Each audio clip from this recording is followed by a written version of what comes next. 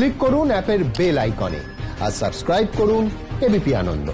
সব সময় থাকুন খবরে। ক্যালেন্ডারে মাঘ মাস শীতকাল, কিন্তু বাজারে ঢুকে বোঝার উপায় নেই। মাছের বাজারে এই মুহূর্তে বর্ষার যা একেবারে নিজস্ব চিহ্ন, তা হলো সেই ইলিশ মাছ, আর সেই ইলিশ মাছ ভরে রয়েছে। বিশেষ করে বড় সাইজের ইলিশ আসছে যা কিনা গত বর্ষায় একেবারেই অধরা ছিল।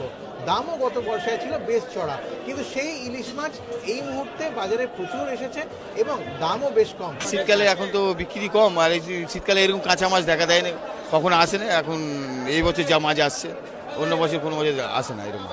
ভীষণ ভালোবাসি ইলিশ মাছ খেতে। আর আমরা তো পুজোর পর থেকে ইলিশ মাছ খাই না। সরস্বতী পুজোর দিন বাড়িতে জোড়া ইলিশ আসে।